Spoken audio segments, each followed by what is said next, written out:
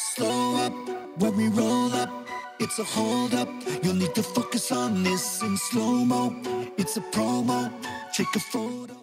Welcome to the TLTF uh, YouTube channel. This is where we will be posting um, all the races for the TLTF team, as well as any updates on wheels that we will have. Um, starting with this first video, we're going to go over the difference between the 12-spoke wheels for indoors, as those are the most important wheels as of right now for the 2022 season, and a couple updates that we have for you guys going into the 2022 season.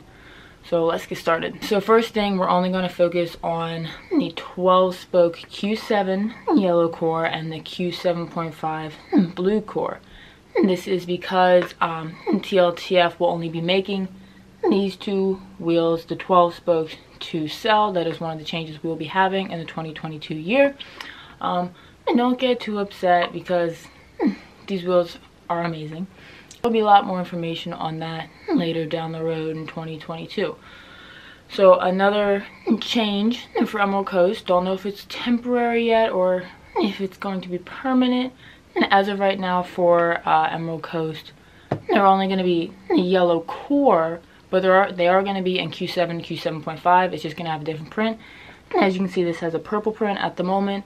The Q7.5s will have a different color print. I think we're going to go with blue for it. So it kind of resembles, you know, the blue hub for the Q7.5s with the blue print.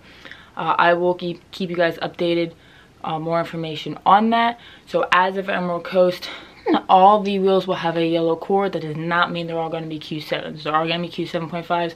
They are going to have a different um, print than purple for the Q7.5. So getting into the differences between the Q7 and the Q7.5s, basically the only difference is the urethane. Same hub, the or same core, just different color cores. dual port is the same as well. DP18 just with the Q7.5, the urethane is a little bit harder, so you get a little bit more roll. And compared to the Q7.5s, the Q7s are just a little bit softer. Um, like I said in previous videos, this is like the sweet spot wheel for me. Just enough roll, just enough um, grip as well. But these new Q7.5s growing on me every time I wear them. Um, I myself usually mix the wheels together uh, it depends on the floor. I may go toe um, middle and like flip it this way. Um, sometimes I'll just have the yellow on the outside, blue in the middle. It really depends on the floor. I do recommend this for people who love roll and want just to give a little bit up on the grip but I to be honest I don't feel like I'm giving up on grip at all so I do recommend this was a lot for people who love the roll for people who feel more comfortable with grip uh, I do recommend the yellow core. I recommend that for most of my skaters when first starting out. They ask me should I get when they uh, should I get the blues, should I get the yellows. I always recommend starting out with the yellows and if you think you want a little bit more roll, you can go up, make some blues. If you think you even need more roll, just put all blues on. That's what I recommend for the skaters on my team when they ask me about it.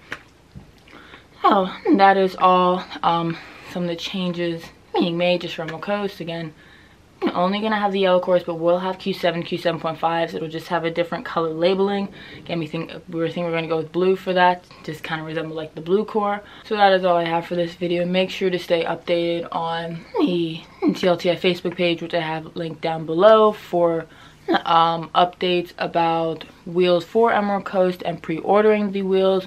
We will make that post soon of when the wheels will be available for pre-order for emerald coast as well as um, stay tuned for more content here on the TLTF Manufacturing YouTube page.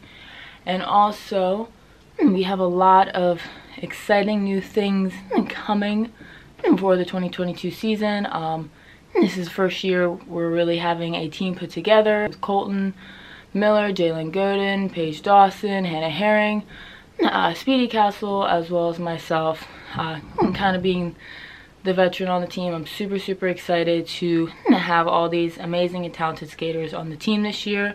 And I can't wait to see what we all do together. Again, stay tuned for what we have in store. It's a lot of stuff uh, for TLTF for 2022. Thank you for watching. It's a hold up.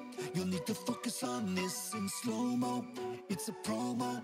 Take a photo.